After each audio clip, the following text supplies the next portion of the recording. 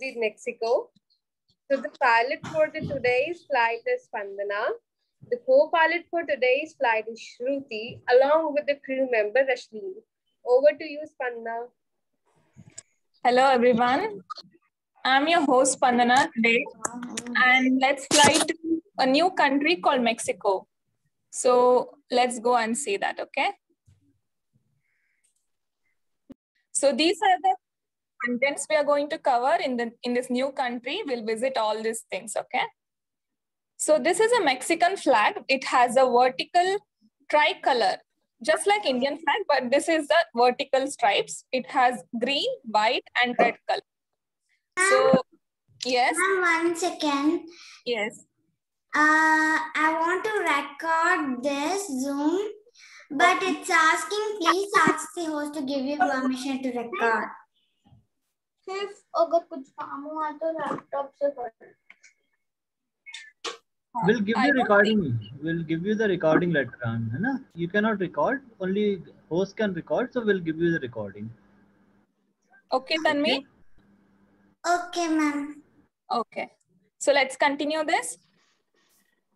Okay. So here, green color represents Thank hope. you, ma'am. Okay. Green color represents hope. White represents purity. and red represents blood of the freedom fighters who fought during the war. Okay. And do you see the emblem emblem over here? What do you see here? What is the what is the symbol over there? It's an emblem of Mexico.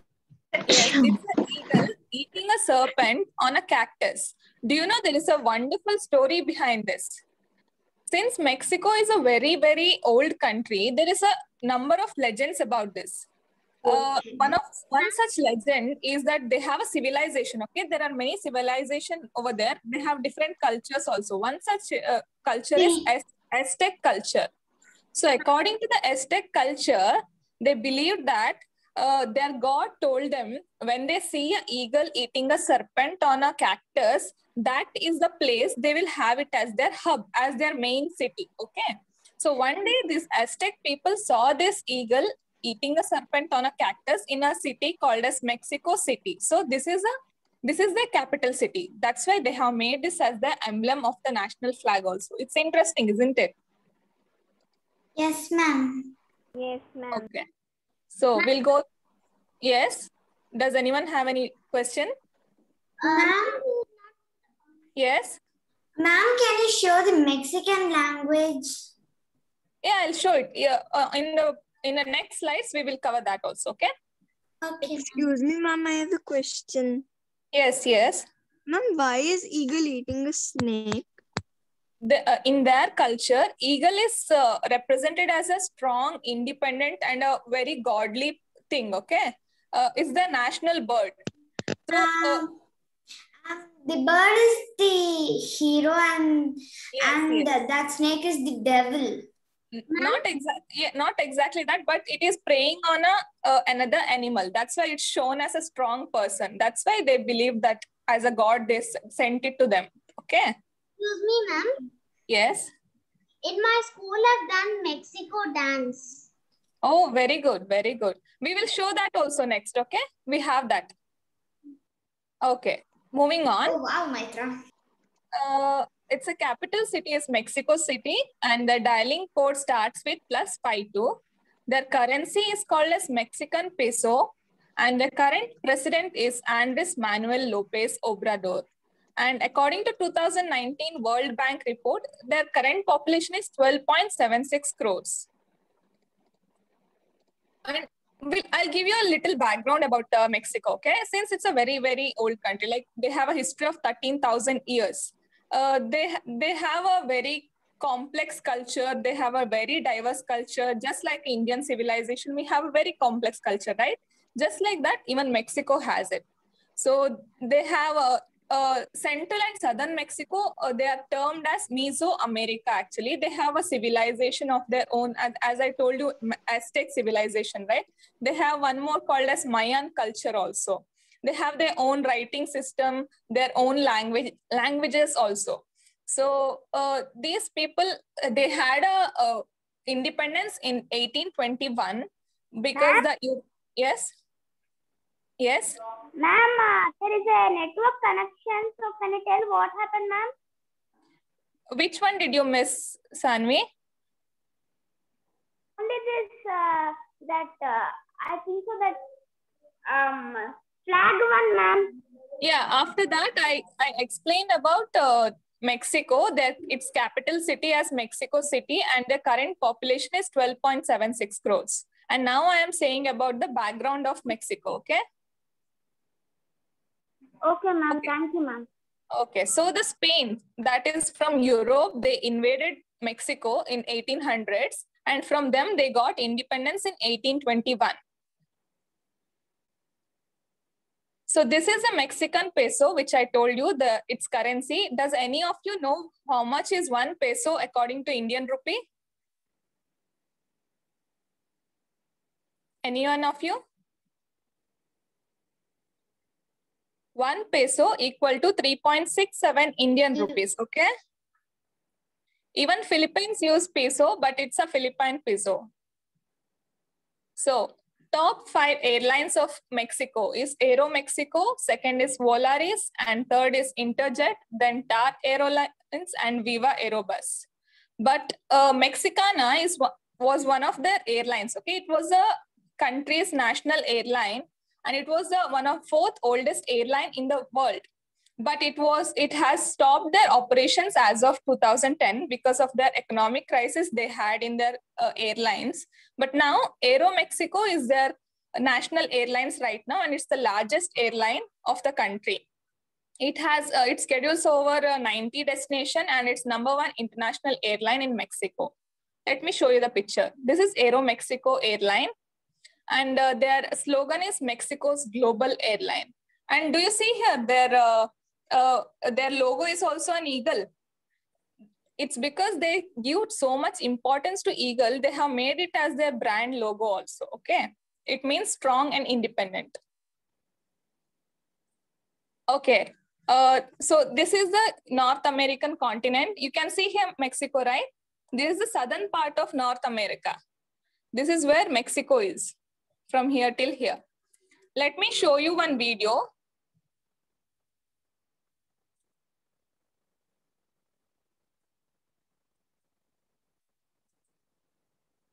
This is this is a, a Catholic festival where they go to the uh, pilgrimage for the church that is basilica church of mexico. When they go there to see the image of mary they dress up like this they start the festivities and dance and they go to see the mary image okay? This is a uh, this is during their independence day that is 16th september 1821 is the independence day so they celebrate it every year on 16th september during that they wear all the cultural clothes and they uh, dance together, they celebrate together, and this is how they go to the Independence Day. This is a very fascinating festival. This is a Day of Dead. It's on November 1st and 2nd every year they celebrate it. On this day, they pray and to their uh, people who have uh, previously passed on or died, to their ancestors, they uh, they go to their Excuse cemetery. Sorry, yes. And there is a Disney movie called Coco. It's about Day of the Dead, only.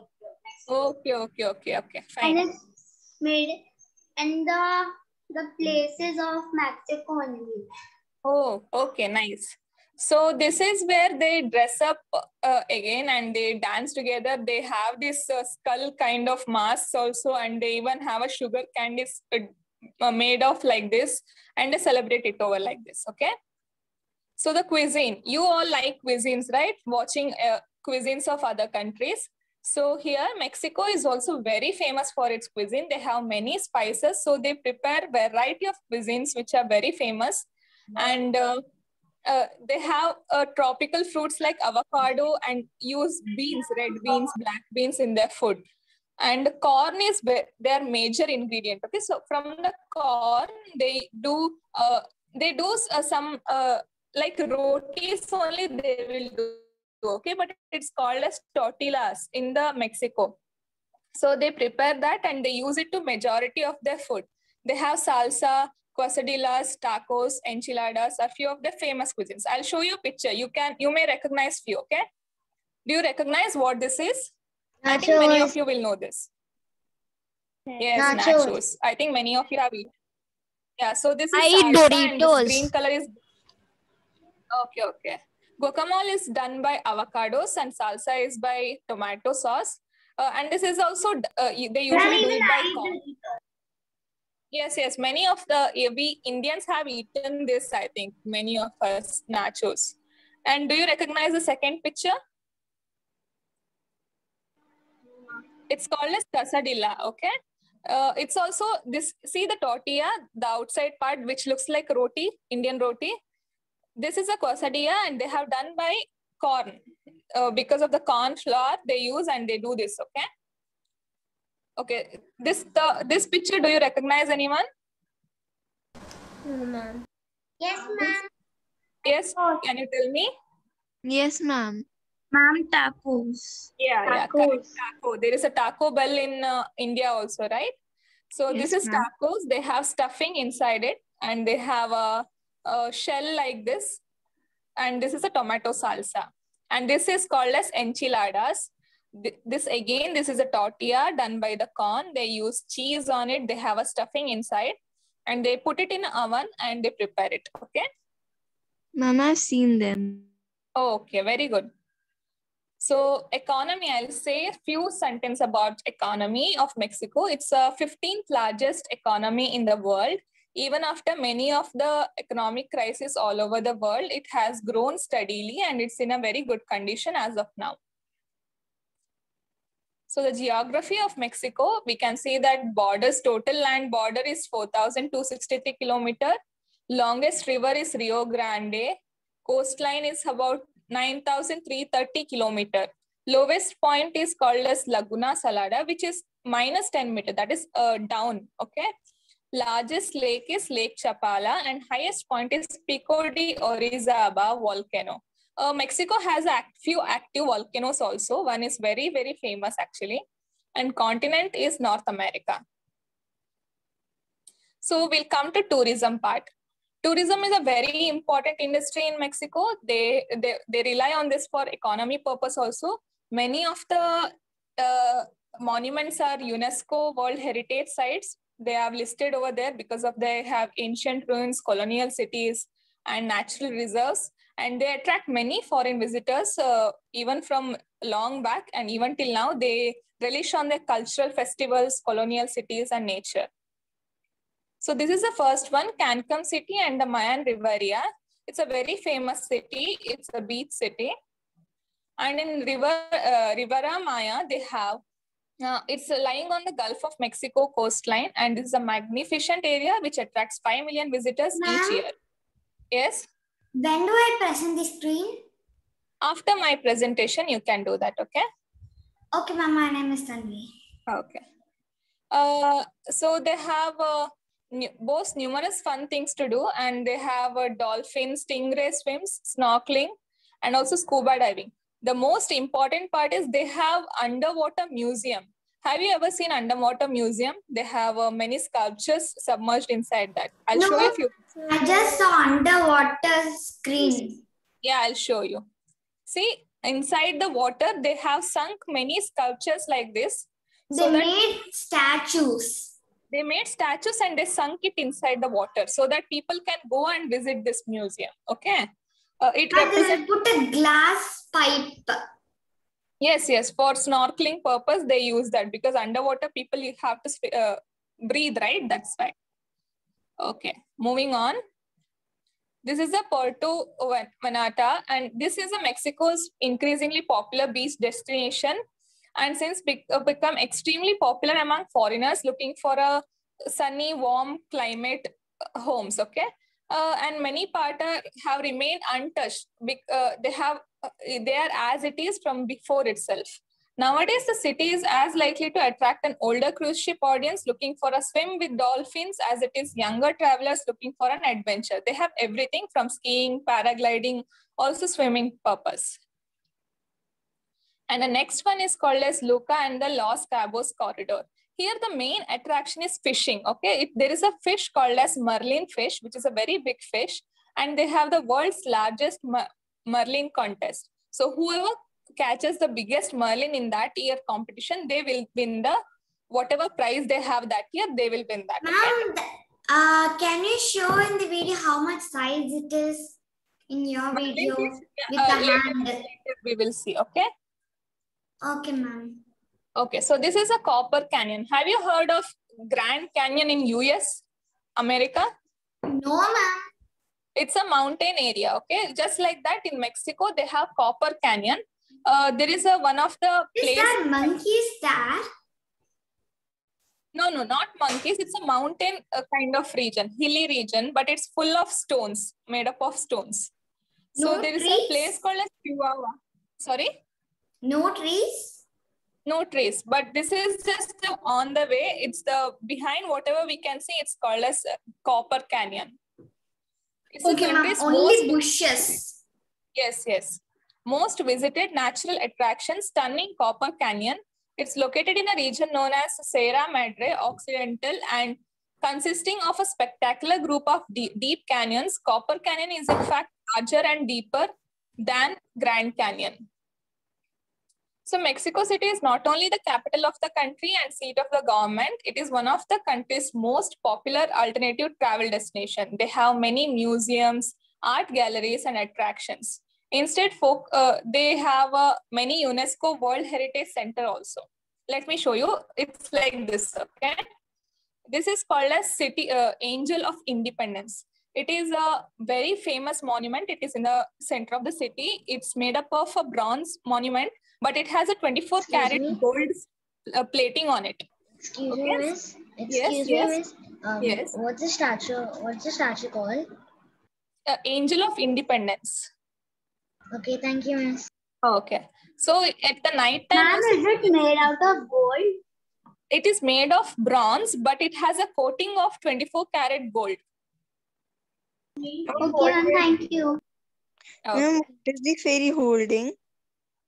So, sorry, it's it's a symbolizes peace. So they are holding uh, holding few uh, uh, what is it called uh, leaves, but it has a, a crown shaped leaf. Okay, it symbolizes war, law, purity, and uh, peace. Uh, so the next one is one second. I'll just uh, share my screen again.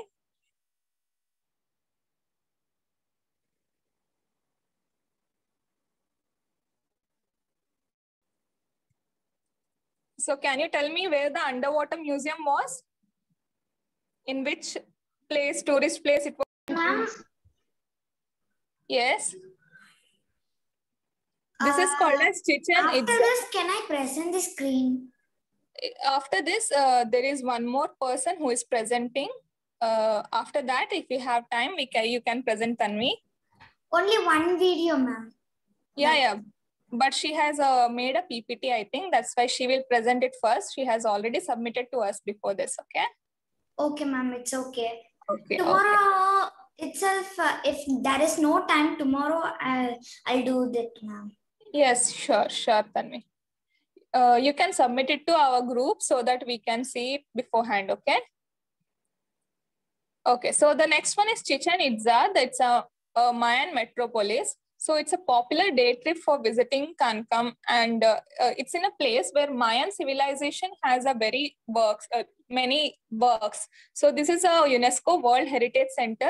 They have many uh, monuments such as this, which is a pretty famous. So with this, we come to an end, but I will show you one more video which shows other tourist areas also. Uh, it, it covers few of this also, what I have, what I have told you, and also few others, uh, which you can enjoy.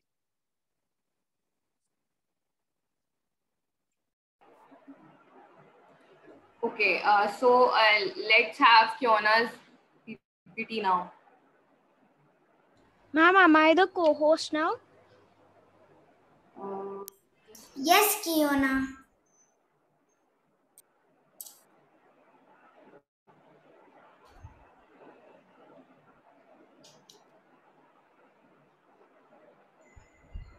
Yes, you are the co-host now. You can share your screen. Yes, ma'am. Yes, it's visible now. You can explain your PPT to us.